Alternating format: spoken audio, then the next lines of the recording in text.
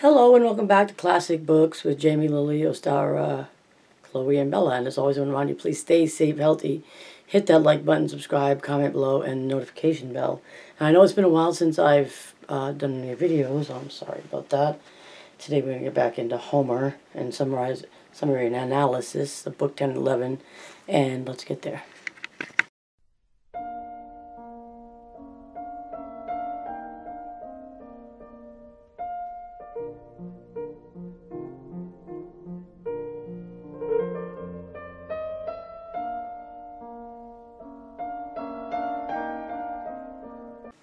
The analysis, summary analysis, the books 10 and 11 of Homer, and then we're going to get back into book 12.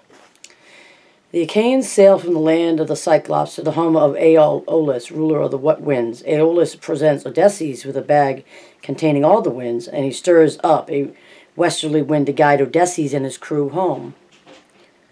Within ten days, they're in sight of Ithaca, but Odysseus' shipmates, who think that Aeolus has secretly given Odysseus given Odysseus a fortune in gold and silver, tear the bag open. The winds accept and stir, excuse the wind escape and stir up a storm that brings Odysseus and his men back to Aeolia. This time, however, Aeolus refers, refuses to help them, certain that the gods hate Odysseus and wish to do him harm. Lacking wind, the Achaeans row to the land of the Laos Laestrygonians, a race of powerful giants whose king Antif Antiphades and, and unnamed queen turn Odysseus' scouts into dinner. Odysseus and his remaining men flee forward to their ships, but the Laostrian, the Laostrygonians, these big, these names, Greek names, pelt the ships with boulders and sink them as they sit in the harbor. Only Odysseus' ship escapes. From there, Odysseus and his men travel to Aea. It's all Greek to me. Home of the beautiful witch goddess Circe. Circe. Circe drugs a band of Odysseus' men and turns them into pigs. When Odysseus goes to rescue them, Hermes approaches him in the form of a young man. He tells Odysseus to eat an, eat an herb called moly to protect himself from Circe's drug and then lunge at her when she tries to strike him with her sword. Odysseus follows Hermes' instructions, overpowering Circe and forcing her to change his men back to their human forms. Odysseus soon becomes Circe's lover, and he and his men live with her in luxury for a year. When his men finally persuade him to continue the voyage homeward, Odysseus asks Circe for the way back to Ithaca. She replies he must sail to Hades, the realm of the dead, to speak with the spirit of Tiresias, a blind prophet who will tell him how to get home. A lot of people uh, mistake Hades and hell for the same thing. I myself used to, but not exactly. It's the realm of the dead. The next morning, Odysseus rouses his men for the imminent departure. His dis he discovers, however, that the youngest man in his crew, Elpenor, had gotten drunk the previous night, slept on the roof, and when he heard the men shouting and marching in the morning, fell from the roof and broke his neck. Odysseus explains to his men the course that they must make, they, that they must take, which they are displeased to learn is rather meandering. Odysseus travels to the river of Ocean in the land of the Cimmerians. There he pours libations and performs sacrifices as Circe and earlier instructs him to do to attract the souls of the dead. The first to appear is that of Elpenor, the crewman who broke his neck falling from Circe's roof. He begs Odysseus to return to me to Circe's island and give his body a proper burial. Odysseus then speaks with the, the Theban prophet Tiresias, who reveals that Poseidon is punishing the Achaeans for blinding his son Polyphemus. He foretells Odysseus' fate, that he will return home, reclaim his wife and palace from the wretched suitors, and then make another trip to a distant land to appease Poseidon. He warns Odysseus not to touch the flocks of the sun, when he reaches the land of Thrinacia. Otherwise, he won't return home without suffering much more hardship and losing all his crew. When Tiresias departs, Odysseus calls other spirits toward him. He speaks with his mother, Anticlea, who updates him on the affairs of Ithaca and relates how she died of grief waiting for his return. He then meets the spirits of various famous men, heroes, and hears the stories of their lives and deaths. A drink here. Odysseus now cuts short the tale and asks his Phoenician hosts to allow him to sleep, but the king and queen urge him to continue, asking if he met any of the Greeks who fell at Troy and Hades. He relates his encounters there. He meets Agamemnon, who tells him of his murder at the hands of his wife, Clytemnestra. Next, he meets Achilles, who asks about his son, Neoptolemus. Odysseus then tries to speak with Ajax, an Achillean, excuse me, an Achaean, who killed himself after he lost a contest with Odysseus over the arms of Achilles. But Ajax refuses to speak and slips away. He sees Heracles, King Minos, the hunter Orion, and others. He witnesses the punishment of Sisyphus struggling eternally to push a boulder over a hill only to have it roll back down where whenever it reaches the top. He then sees Tantalus agonized by hunger and thirst. Tantalus sits in a pool of water overhung by bunches of grapes, but whenever he reaches for the grapes, they rise out of grasp, and whenever he bends down to drink, the water sinks out of reach. Odysseus soon finds himself mobbed by souls wishing to ask about their relatives in the world above. He becomes frightened, runs back to his ship, and immediately sails away. The analysis of books 10 and 11. Fix this a little bit. The mortal tendency to succumb to temptation manifests itself through book, through, uh, excuse me, tendency to sub, manifest itself through, throughout book 10. Just as Odysseus taunts the blinded Polyphemus in Book G by boasting about his defeat of the Cyclops, the members of his crew prove unable to resist looking into Aeolus' bag, and their greed ends up complicating their Nostos, a homeward voyage. As important and illustrative of weak-mindedness, however, is that Odysseus lets a year waste away in the arms of the goddess Circe. While his crew certainly seems not to mind the at respite, Odysseus particularly enjoys it even though his wife is waiting for him. The drunk Elpenor's death, as the men are about to depart from home, constitutes another instance of overindulgence in personal appetite. Only when his crew prods him and causes delays madness is Odysseus persuaded to leave Circe's realm. The crew members' lukewarm feelings for the place are understandable. After all, they have to suffer the humiliation of being transformed initially to pigs and receive no recompense comparable to the love of a goddess. Indeed, in Book 10, for the first time, we hear the crew criticize its leader, refusing repeatedly to return to Circe's halls after the other skulls are transformed into pigs. The crew member, Eurylochus, issues an especially stinging reproach of Odysseus for foolishly leading his crew to its destruction. He presents the death of their comrades at the hands of Polyphemus as evidence of Odysseus' imprudence. Thanks to Odysseus' rashness, they died. They died too. Though Odysseus checks his anger restores calm, the unrest illustrates the holes in his authority. With the appearance of the various heroes and lesser divinities, Book 11 gives the modern reader an extraordinary anthology of mythological lives. Homer's audience would already have been familiar with the stories of such figures as Heracles, Minos, Achilles, Agamemnon, Sisyphus, and Tantalus, and people turned to them for authoritative versions of the Greek myths, even in the later ancient period.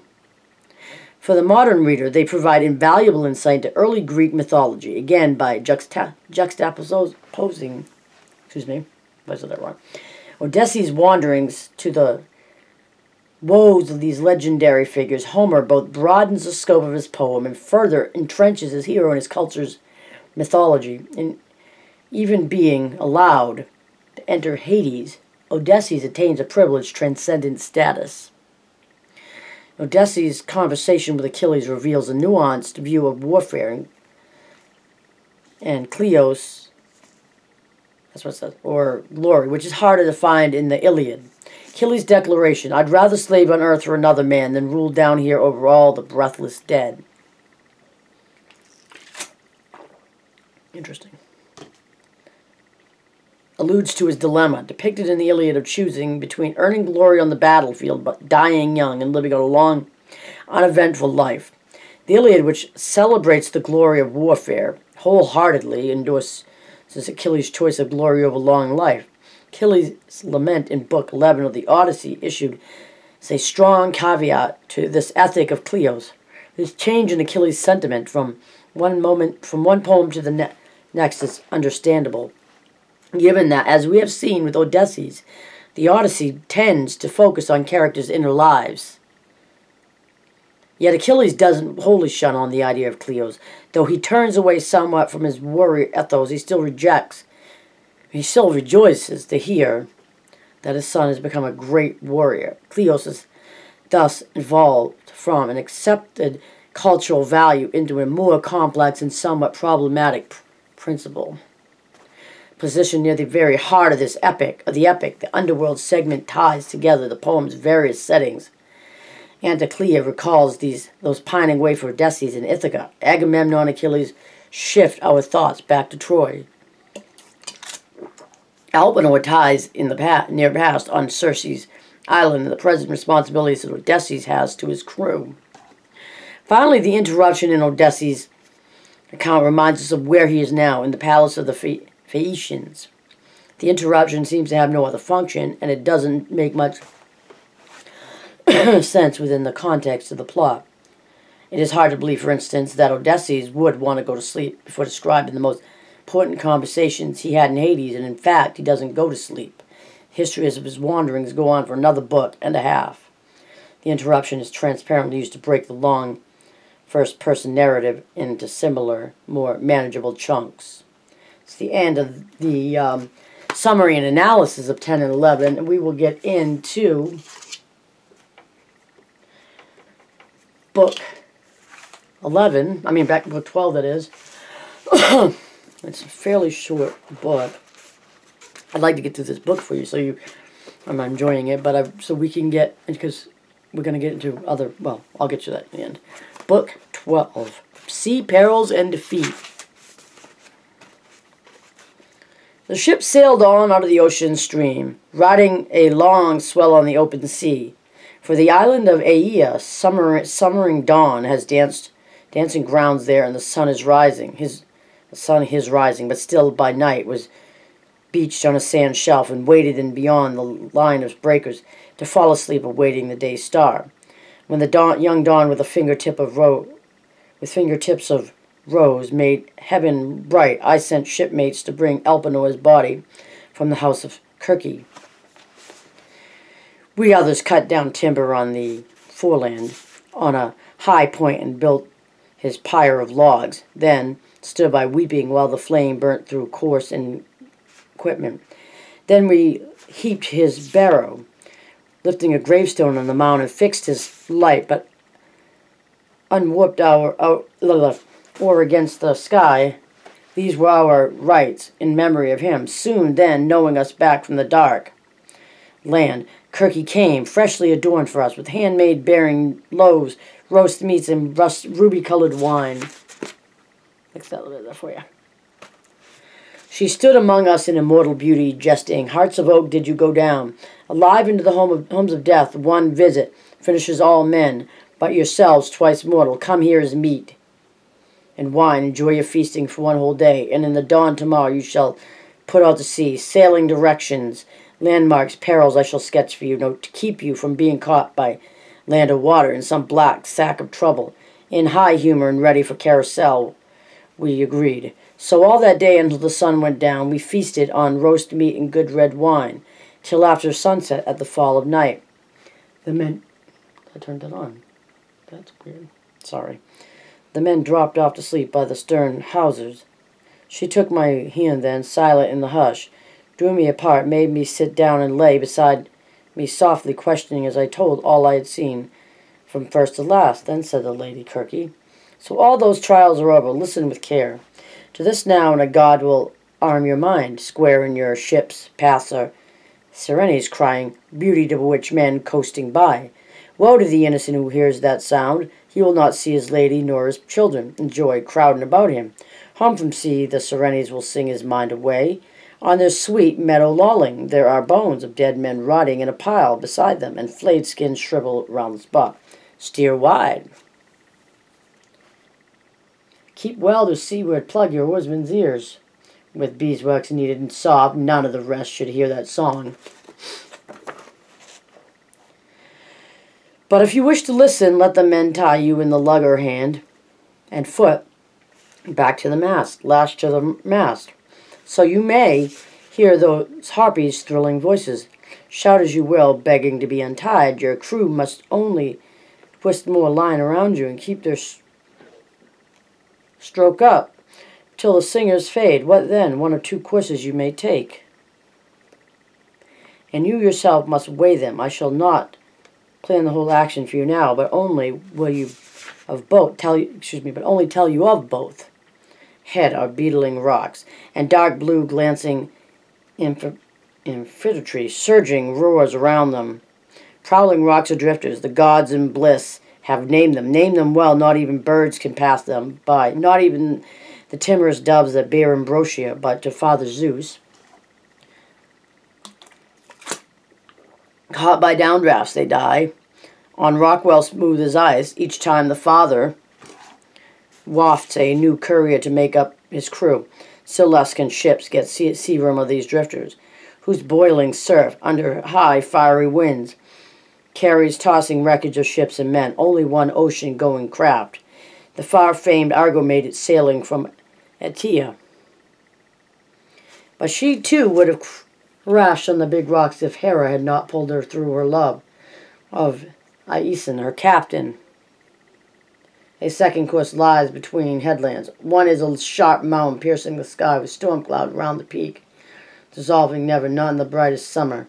To show heaven's azure there, nor in the fall, no mortal man could scale it, nor so much as land there, not with twenty hands and feet, no so shift, so sheer the cliffs are as of polished stone midway that high a cavern full of mist opens towards Erebos and evening skirting. This in the lugger great Odysseus, your master bowman, shooting from the deck, would come. Did I that? Back there. Yeah. And this in the lugger great Odysseus, your master bowman, shooting from the deck, would come short of the cave mouth with his shaft. But that is the den of Scylla, where she yaps abominably. In newborn's whelps cry, though she is huge and monstrous, god or man, no one could look her and look on her and enjoy her legs, and there are twelve, are like great tentacles, unjointed, and upon her serpent necks are borne six heads like nightmares of ferocity. Of ferocity. With triple serried rows of fangs and deep gullets of black death, half her length she sways, her head in air, outside her horrid cleft, hunting the sea around that promontory for dolphins, dogfish, or what bigger game, thundering, amphitrite feeds in thousands, and no ship's company can claim passed her without loss and grief. She takes from every ship one man for every gullet. The opposite point seems more a tongue of land you touch with a good bow shot at the narrows. A great wild fig, a shaggy mass of leaves, grows on it. And Charybdis lurks below to swallow down the dark sea tide. Three times from, down to, from dawn to dusk she spews, spews it up and sucks it down against three times a whirling maelstrom if you come upon her, then the god who makes earth tremble could not save you. No hug. The cliff of Scylla, take your ship through on a racing stroke. Better to mourn six men than lose them all, and the ship too. So her advice ran, but I faced her, saying, Only instruct me, goddess, if you will. How, if possible, can I pass Charybdis, or fight off Scylla when she raids my crew. Swiftly that loveliest goddess answered me, Must you have battle in your heart forever?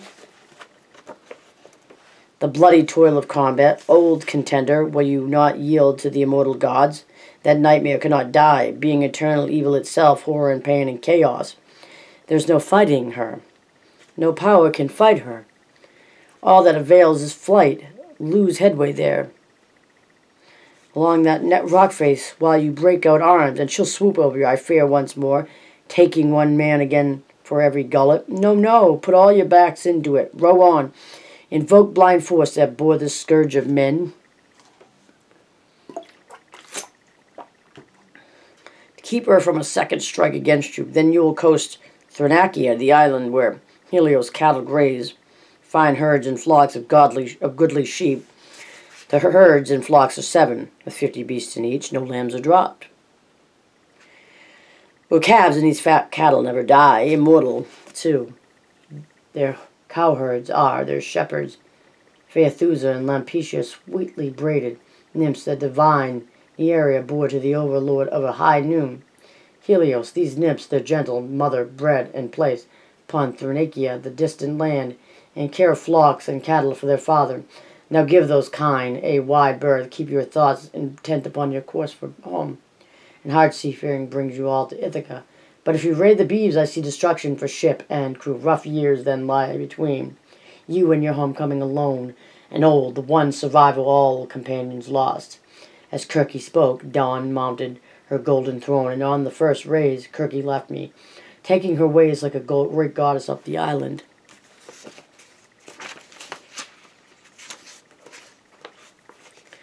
I made straight for the ship, roused up the men to get aboard, and cast off at the stern. They scrambled to their places by the rowlocks, and all in line dipped oars in the great sea. But soon an offshore breeze blew to our liking, a canvas bellying breeze, a lusty shipmate sent by the singing nymph with sun-bright hair. So we made fast the braces, and we rested, letting the winds and steersmen work the ship. The crew being now silent before me, I addressed them sore at heart. Dear friends, more than one man or two should know these things, those things. Kirke foresaw for us and shared with me. So let me tell her forecast, and we die with our eyes open. If we are going to die, or know that what death we baffle if we can. Sir Serenes weaving a haunting song of the sea. We are to shun, she said, and their green shore all sweet with clover. Yet she urged that I alone should listen to their song. Therefore you are about to tie me up. You were to tie me up, tied as a splint, erect along the mast, lashed to the mast, and if I shout and beg to be untied, take more turns of the rope to muffle me. I rather dwelt on this part of the forecast while our good ship made time bound outwards down the wind for the strange island of Serenes, and all at once the wind fell in a calm, came over all the sea as though some power lulled, lulled the swell. The crew were on their feet, briskly to furl the sail and stow it then. Each in place they poised the smooth oar blades and sent the white foam scudding by. I carved a massive cake of beeswax into bits and rolled them in my hands until they softened no long task for a burning heat came down. From Helios, Lord of High Noon, going forward, I carried a wax along the line and laid it thick on their oars. They tied me up, then plumbed amidships back to the mast, last, lashed to the mast, and took themselves again to rowing. Soon as we came smartly within hailing distance, the two Serenes noting out fast our fast ship of their point made ready, and they sang, This way, O turn your bow, Achaea's glory, as all the world allows, moor and be merry. Sweet couple there as we sing, no lonely seafarer holds clear of entering our green mirror, Please by each purling note, like honey twining from her throat in my throat, who lies a pining. Sea rovers here take joy, voyaging onward as from our song of Troy, graybeard and rower boy, goeth more learned. All feats on that great field for the long wayfare. Dark days the bright ga- gods willed wounds you bore, bore there. Argos old soldiery on Troy each teeming. Charmed out of time we see no life on earth can be hid from our dreaming.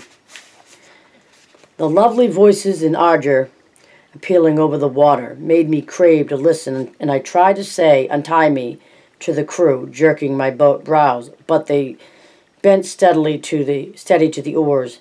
Then Perimedes got to his feet, he and Eurylochus, and passed more line about to hold me still. So all rowed on until the Serenes dropped under the sea rim, and the singing dwindled away. My faithful company rested on their oars now, now peeling off the wax I had laid thick on their ears, then set me free, but scarcely had that island faded in blue air than I saw smoke and white water with sounds of waves and tumult.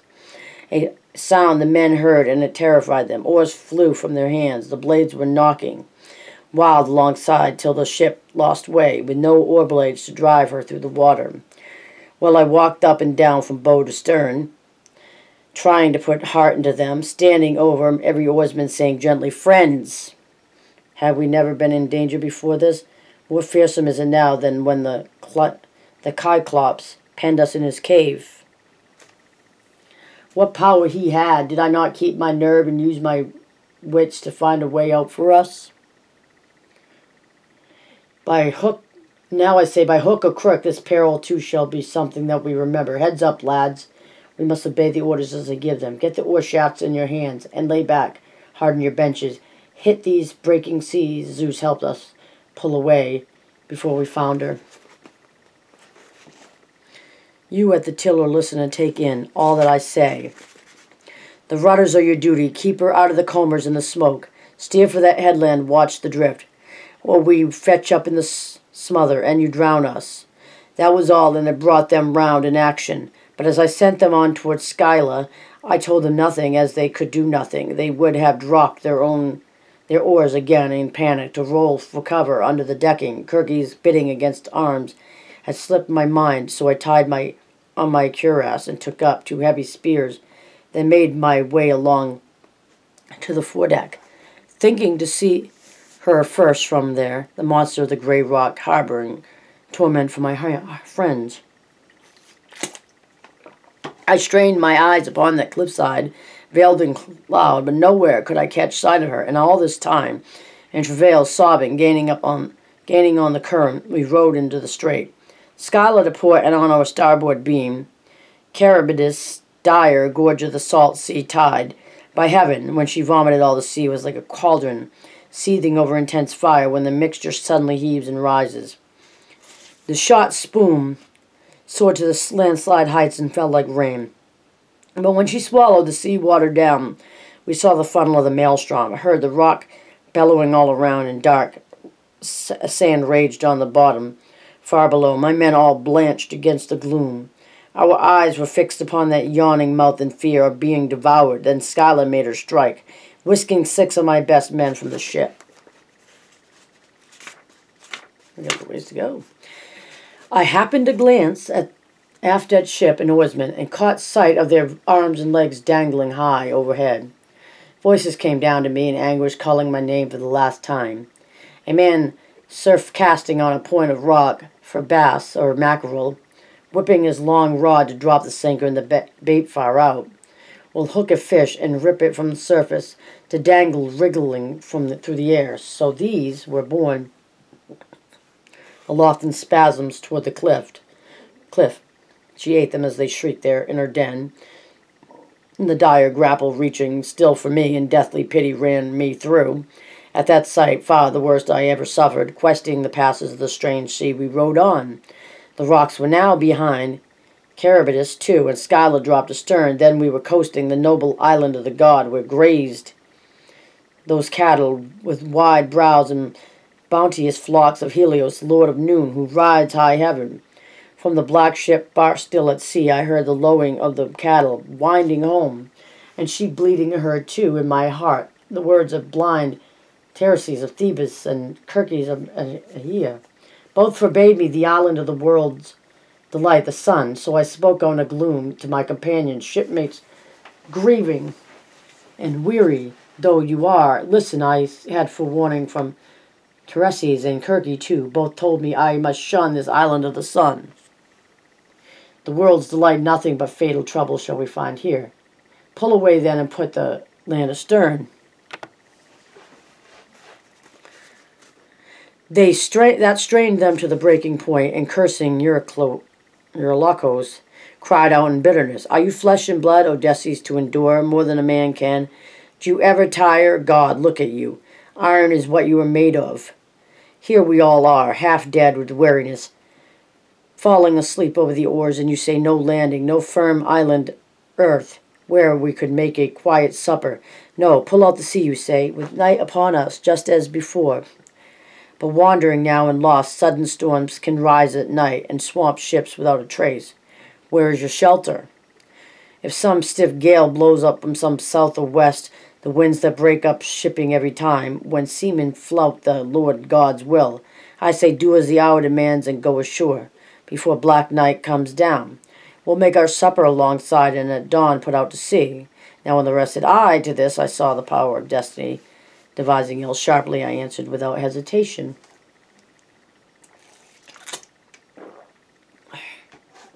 Eurylochus, they are with you to a man. I am alone outmatched, let this whole company swear me a great oath. Any herd of cattle or flock of sheep here found shall go unharmed. No one shall slaughter out of wantonness. Ram or heifer, all shall be content with what the goddess Kirkes put aboard. They fell at once to swearing as they ordered, and when this round of oaths had ceased, we found a half moon bay to beach and moored the ship in, the fresh spring nearby, all hands ashore. Went about skilfully, getting up a meal. Then, after thirst and hunger, those besiegers were turned away. They mourned for their companions, plucked from the ship by Scylla and devoured. then sleep came soft upon them as they mourned. In the small hours of the third watch, when stars that shone out in the first dusk of evening had gone down to their setting, a giant wind blew from heaven, and clouds driven by through shrouded land and sea in a night of storm.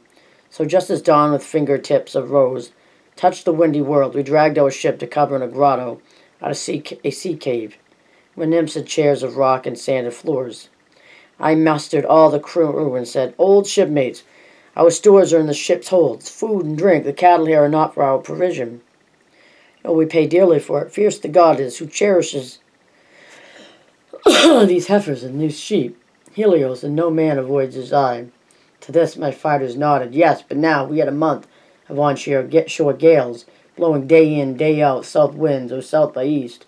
As long as bread and good red wine remained to keep the men up, tease their craving, they would soon touch the cattle, but in the end, when all the barley in the ship was gone, hunger drove them to scour the wild shore with angling hooks, bush fishers, and sea fowl.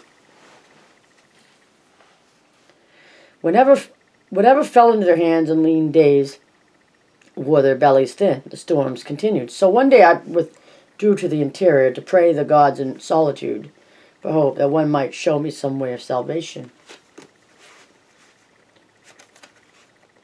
Slipping away, I struck across the island to a sheltered spot. Out of the driving gale, I washed my hands there and made supplication to the gods who own Olympus, all the gods, but they for an- they for answer only closed my eyes under slow drops of sleep. Now on the shore, Eurylochus made his insidious plea. plea. Comrades, he said, you've gone through everything. Listen to what I say. All deaths are hateful to us, mortal wretches.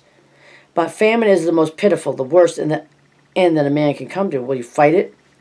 Come, we'll cut out the noblest of these cattle for sacrifice to the gods who own the sky, and once at home, the old country of Ithaca, if ever that day comes, we'll build a costly temple and adorn it with every beauty for the Lord of Noon. But if he flares up over his heifer's loss, wishing our ships destroyed, and the gods make cause with him, then I say, better open your lungs to a big sea once for all, than waste your skin and bones on a lonely island.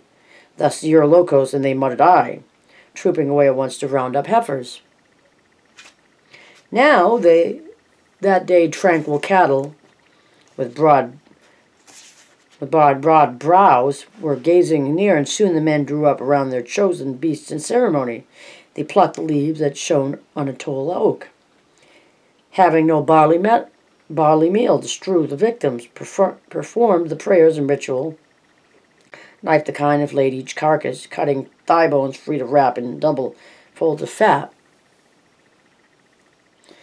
These offerings with strips of meat were laid upon the fire. Then, as they had no wine, they made libation with clear spring water, broiling the entrails first.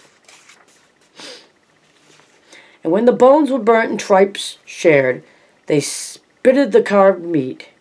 Just then my slumber left me in a rush. My eyes opened and I went down the seaward path. No sooner had I caught sight of a, a black hull and savory odors of burnt fat eddied around me. Grief took hold of me, and I cried aloud, O Father Zeus, and gods in bliss forever! You made me sleep away this day of mischief, O cruel drowsing in the evil hour. Here they sat in the great work they contrived. Lampetia in her long gown, meanwhile, had borne swift word to the overlord of noon. They have killed your kind, and the Lord Helios burst into angry speech amid the immortals. O Father Zeus and gods in bliss forever, punish Odysseus' men, so overwhelm, so overweening. Now they have killed my peaceful kind. My joy at morning, when I climbed the star, sky of stars, and eventually when I bore westward from heaven, restitution or penalty they shall pay, and pay in full, or I shall go, or I go down forever to light the dead men in the underworld. Then Zeus, who drives the storm cloud, made reply. Peace, Helios, shine on among the gods. Shine over mortals in the fields of grain. Let me throw down one white-hot bolt and make splinters of their ships in the wine, wine-dark sea. Calypso later told me of this exchange as she declared that Hermes had told her. Well, when I reached the sea cave in the ship, I faced each man and had it out, but where could any remedy be found? There was none. The silken beeves of Helios were dead. The gods, moreover, made queer signs appear.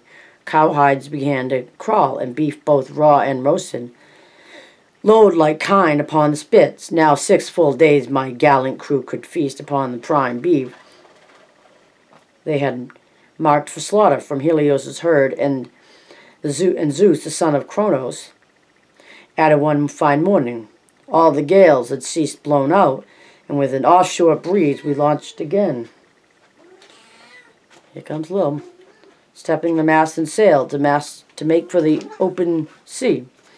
Astern of us, the island coastline faded and no land showed anywhere, but only sea and heaven when Zeus Cronion piled a thunderhead above the ship, while gloom spread on the ocean. We held our course but briefly, and the squall struck whining from the west, with gale force breaking both forestays and the mast came toppling aft along the ship's strength, so the running rigging showered into the bilge. On the dark, excuse me, on the after deck.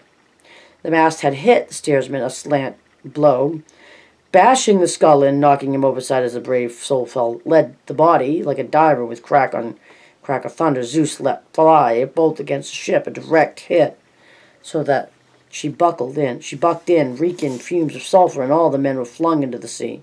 They came up round the wreck, bobbing a while like petrels on the waves. No more seafaring homeward for these, no sweet days of return. The god had turned his face from them. I clambered fore and aft my hulk under a comber, split her keel from ribs, and the big timber floated from the mast too. Broke away a backstay floated dangling from it, stout, rawhide rope, and I used this for lashing mast and keel together, then I straddled right in the frightful storm. Nor had I yet seen the worst of it, for now the west wind dropped, and a southeast gale came on, one more twist of the knife, taking me north again, straight for Charybdis. All the night I drifted under sunrise, sure enough. I lay off Scylla mountain and Charybdis deep. There, as the whirlpool drank the tide, a billow tossed me, and I sprang for the great big tree, catching on like a bat under a bough. Nowhere had I to stand, no way of climbing the root, and Bull being far away, being far below, and far above my head, the branches and their leaves massed overshadowing Charybdis pool, but I clung grimly, thinking my mast and keel would come back to the surface when she spouted. And ah, how long with what desire I waited till at the twilight hour, when one would be who hears and judges pleas in the marketplace all day, being contentious men goes home to supper, the long poles at last reared from the sea. Now I let go with hands and feet plunging straight into the foam beside the timbers, pulled astride, and rowed hard with my hands to pass by Scylla. Never could I have passed her had not the Father of gods and men this time kept me from her eyes. Once through the strait nine days I drifted in the open sea before I made ashore, made sure, buoyed up by the gods, upon Ogygia Island. The dangerous nymph Calypso lives and sings there. In her beauty, and she received me, loved me. At the same time, by by which by, by why but why tell the same tale that I told last night in hall to you and your lady? Those advertisers made a long evening. I do not hold with tiresome repetition of a story. It's the end of book 12. In the next video, we will get into book 13. But if you enjoyed this video, please hit like, subscribe, comment below, and the notification bell, please. And also, when we are finished Homer, after the new year sometime, we are going to be reading straight through. I'm going to get all the books of uh, Alice in Wonderland, and that's going to be the, the entire project, a fun project that I've been wanting to do, read Alice in Wonderland. Also, I'm going to be some streaming videos of some Christmas, uh, streaming Christmas story videos, because this is the month of December, and I I always make, I don't usually stream them, but I'm going to stream them this year. But you stay safe and healthy, and you have a great night until the next video, and I promised I will start making more videos, and thank you and good night.